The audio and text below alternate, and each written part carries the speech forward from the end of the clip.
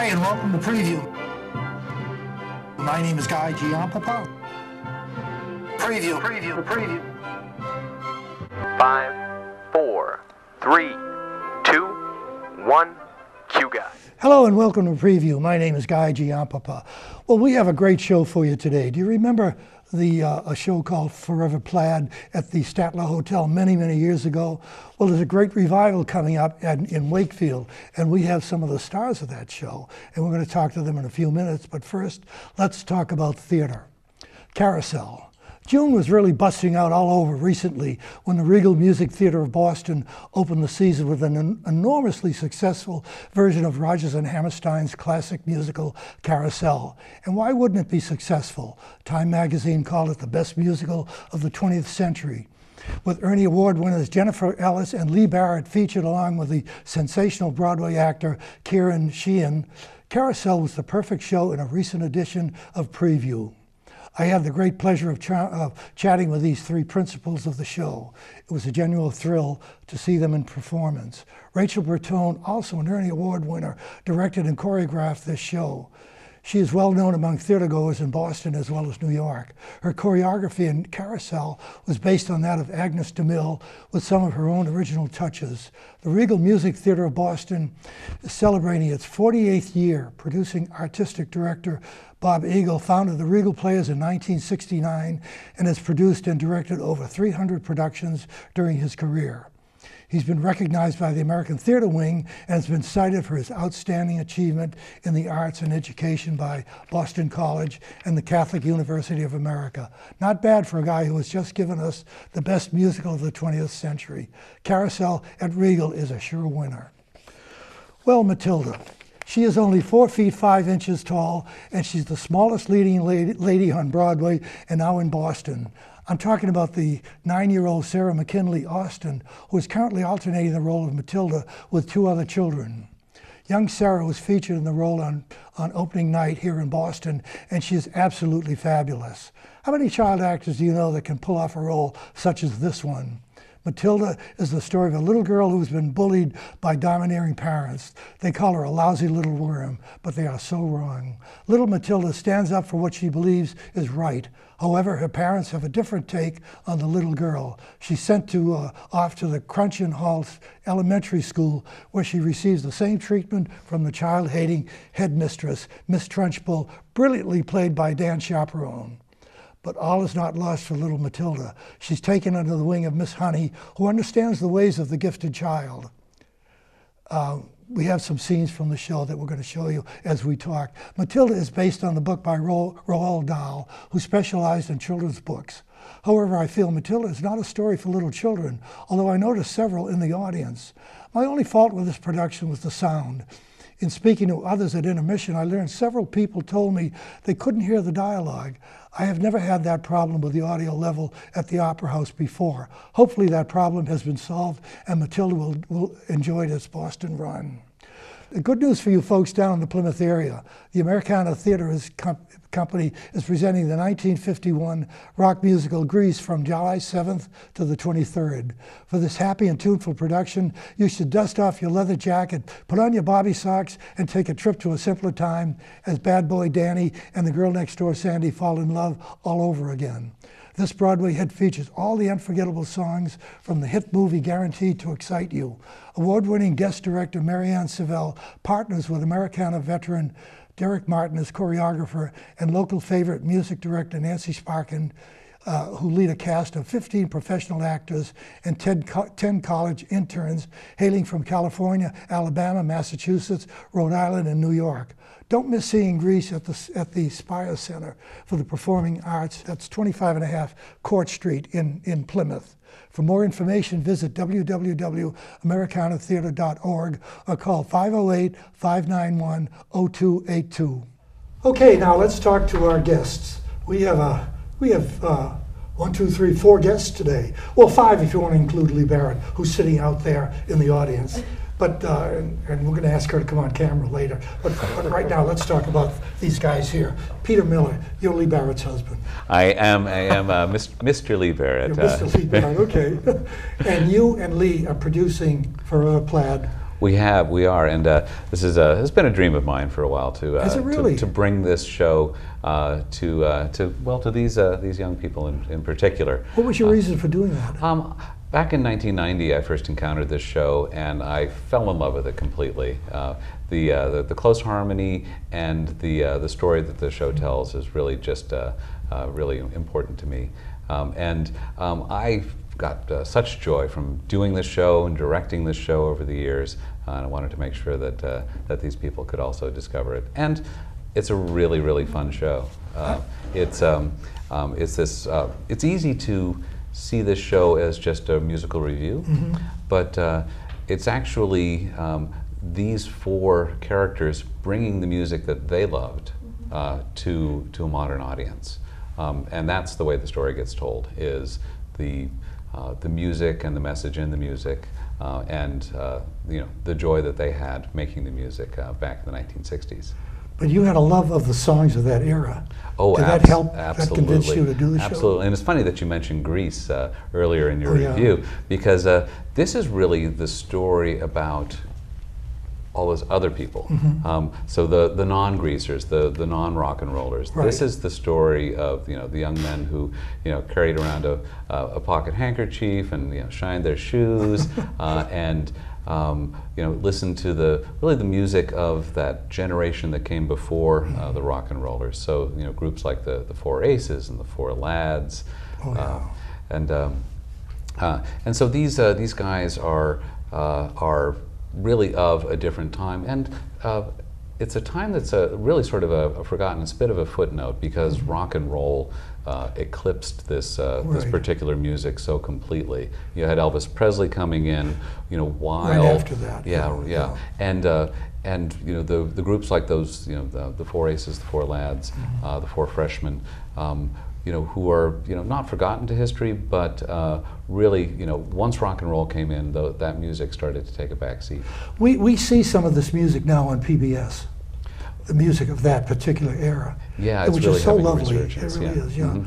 Well, you've brought along uh, three of the four guys that are Mm-hmm. playing in uh, in uh, Gr- in I was going to say Grease and Forever Plaid, and, and the first one is your son, and his name is Matt. That's Matt, right. yeah. Matt Miller. Okay. One of the many Matts in the show. One of the many Matts in the show. Now you play Sparky, right, Matt? Yeah, that's right. Okay. Tell me something about the role. Well, I uh, I kind of well with kind of all with all of us in the show, they're kind of we uh, each of us are a lot like our characters. Um, I uh, Sparky is sort of the he's the he's kind of the class clown. He- you know, he's the he's the cut up of the group. Um, and I, he's he's the one who's always trying to make the, other, the rest of the group and the audience laugh, like no matter what. Um, even in you know some of the moments in the show, that have a little more sentimentality, which I think is which I can really relate to. You know, and I um, really like that about him. And but at the same time, he has a lot of heart and compassion, and he just loves to make the music that him and his friends make, and it's good. Did you you you know you come from a theater family? Yeah, Did you grow up uh, loving this type of uh, this type of a life? You know, acting and music and all that. Yeah, well, so I didn't really, I didn't really start, you know, getting into it myself until, you know, so, uh, like eighth grade. But you know, obviously, I grew up going to see these shows, and it was, it was, it was hard not to sort of, you know, have this. Matt, Matt may not want to mention this, but uh, there's, there's, you know, I have in my memory this this picture of him backstage at Forever Plaid uh, during one of the productions Yeah. we did in the in the 2000s, and uh, you know, uh, him and his brother, uh, you know, just back there, you know, peeking through the curtains. Uh, so it's it's fun to see the you know uh, transform uh, th- forward through time. This like this sounds like something out of a movie. Right, right. it really is. the whole come full circle here. Well, okay, let's talk to the the second Matt, uh, who's playing Smudge. Hi, Matt. Hi. Tell me something about uh, how you got into this role and so forth. Well, um, um, of, of course, I got into this role through Mr. Miller. Um, so Smudge is really the the warrior of the group, which is something I think most of us can relate to, but I definitely can. Um, he he's worried about everything, like coming up on time, which is definitely something I worry about. Like the props, the set list, he's worried about all of it. But he and he doesn't really want to do the show in the beginning. But then he winds up, of course, sticking around because he wants to be with all his friends. And by the end of the show, he's the one who doesn't want it to be over. Um, he's also the bass of the group, and he's dyslexic and left-handed, and mixes up his left and right frequently throughout the show. Well, you have you have quite a background. You, you've done you've done theater before. I have, yeah. Okay, tell me about some of the uh, roles you've had. Um, earlier this year, um, in the winter, I was in uh, Around the World in 80 Days, which was a straight play. I was Phileas Fogg, who's the lead character who's Wow. going around the world in 80 days. Um, last summer, I was in Into the Woods. I was the baker, which is probably my favorite role. Uh, that was a lot of fun. That was directed by Leigh Barrett, Okay. um, and who these two guys were also in. Well, your favorite role before Smudge, of course. Yeah, of course. okay. Um, of course. and then um, in August, I'm going to be in a production of The Drowsy Chaperone, which is also directed by Leigh Barrett. um, I'm playing the man in the chair. what is this? The Leigh Barrett show? That's right. Um, and uh, I'm, I'm also active in our drama club at the high school. I had, I've had numerous great roles in there. where where have you played these roles? Up in your hometown? Um, yeah, um, All of them? yeah. Mo- I've mostly done theater at my high school. Um, we did a summer intensive last year in Wakefield, which is where I did Into the Woods, and I'm doing another one in Wakefield with Drowsy Chaperone. Um, I've, I've also done theater camps growing up over the summers. Do you hope to pursue this as you uh, grow up? Um, I'm, I'm not so much interested in, in being on stage as doing um, theatrical design stuff. So um, I'm probably looking to go to school for scenic design or just any sort of theatrical well, that's very interesting. Do you have do you have a school in mind? Um, not really. I'm still looking around this summer No. to find places. Well, there are so many fine schools in the area. Yeah, there I really mean, you won't have any problem with that. Okay. Well, now let's talk to uh, the third man, who, who is not a Matt. He's we have Matt, Matt, and we have Travis. Hi, Travis. Hello. How are you? I'm quite well. How are you? Tell me about yourself. Um, well, I'm just thrilled to be here. Uh, this is such a great show, and I've, I've liked this show, you know, for years. And then Mr. Miller asked us, "Hey, what would you guys think about being in Forever Plaid?" And I said, "You're kidding." and, uh, but he was he was totally serious, and we're we're doing it, and it's so much fun.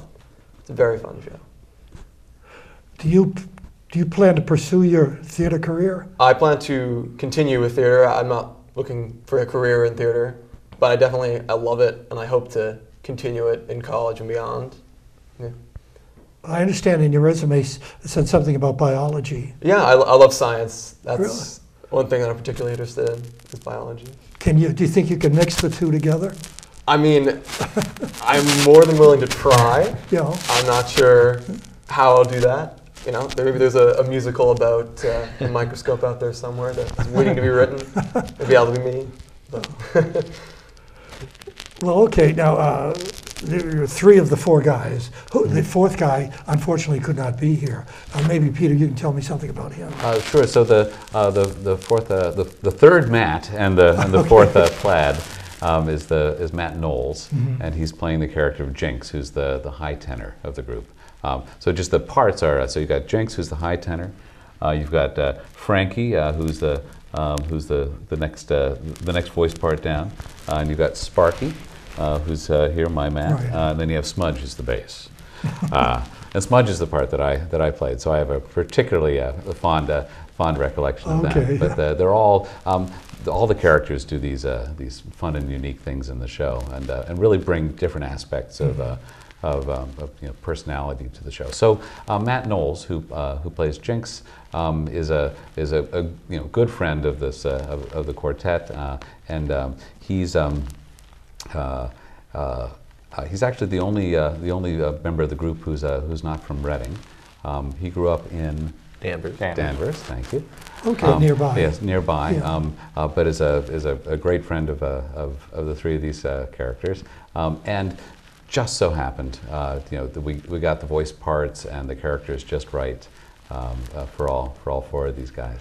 Did you do the casting?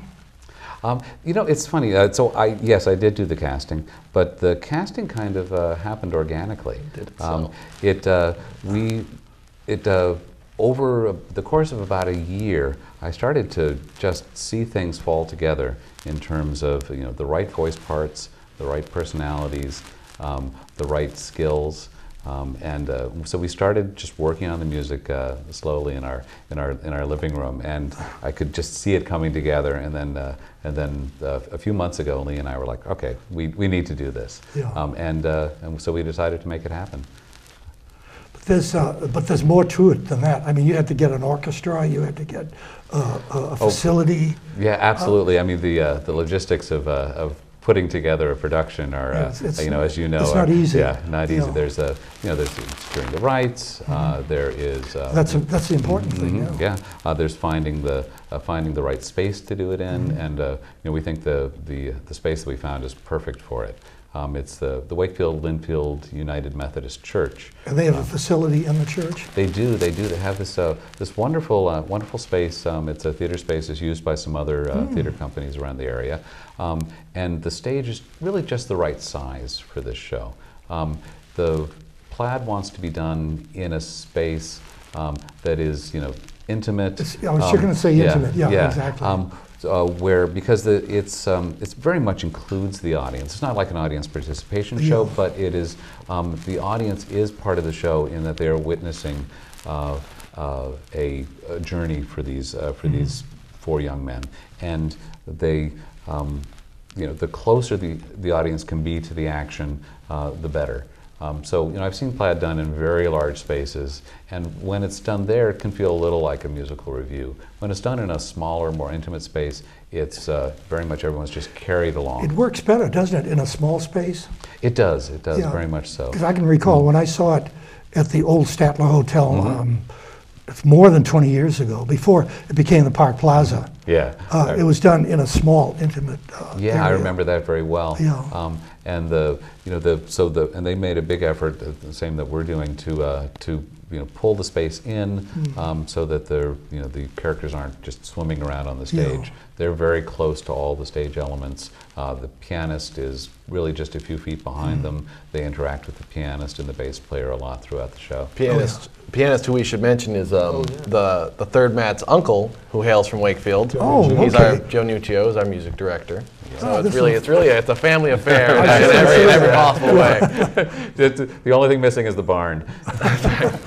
Um, yeah, what I think was was pretty awesome about when uh, we decided that it was going to like actually happen was like sort of the the rallying of like you know all all four of our families and friends all like you know who have certain skill sets and like or access to certain things were like sure I can make that happen for this Yeah. production so everyone sort of came together so like like uh, you know, and Smudge here did the uh, graphic design for the whole show. Um, so, so he made our poster and uh, a lot of these little. Um, so there's a point in the show where we had these album covers that the Plaids made themselves. Yeah.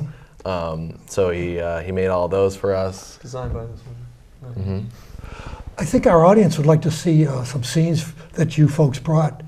Oh yeah, some yeah. scenes from the show. Let's go to that now. Which one will the fountain bless? Three in the fountain, each heart longing for its home. There they lie in the fountain, where? somewhere in the heart of Rome. Which one will the fountain bless? Which one will the fountain bless? In the fountain, through the ripples how they shine. Just one wish will be granted. which? One heart will wear a valentine. Make it mine, make it mine,